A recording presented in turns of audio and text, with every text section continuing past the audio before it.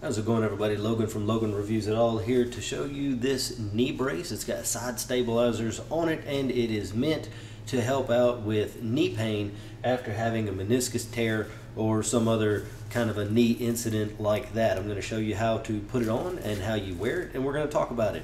The material is super soft. It does have these reinforced sides in here, but they are not extremely strong, but they're flexible enough that they're going to bend and move with you as you move. So the Velcro is nice and secure,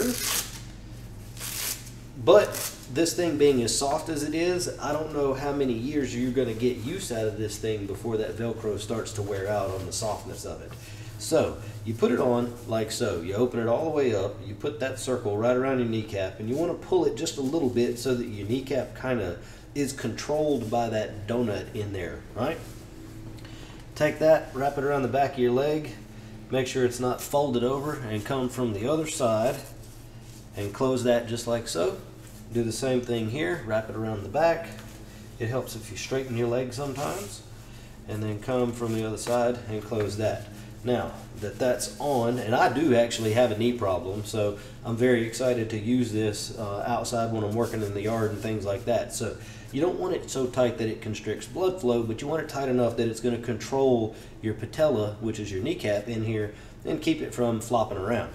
So these straps come under the kneecap, around the back of the knee, and to the top on the other side. They're a crisscross type of thing. So take this strap, under the kneecap, around the back, and to the top on this side.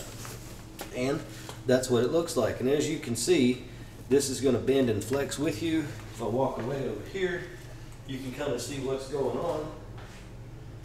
Turn around and come back.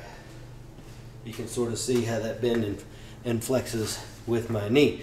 So yeah, overall, I think that this is a decent feeling knee brace. I have used a lot of knee braces in the past and this is a nice one. Uh, I'm just a little bit worried about how soft this material is. You're not going to want to get this caught on anything, and you're not going to want to be doing any rugged activities with this. But for walking and things like that, this is going to be great. Thumbs up. I forgot to mention that it also comes with this little heat and cool bag. And uh, this is built really nicely. It's nice and firm, and it has a screw off lid that you can take off like that. You can put some ice or you can put hot water in here or whatever you need to do and you screw this back on and then at the end of the day when you're done doing whatever you need to do, you can ice or heat whatever area you need that uh, therapy in and this will get the job done. Cool.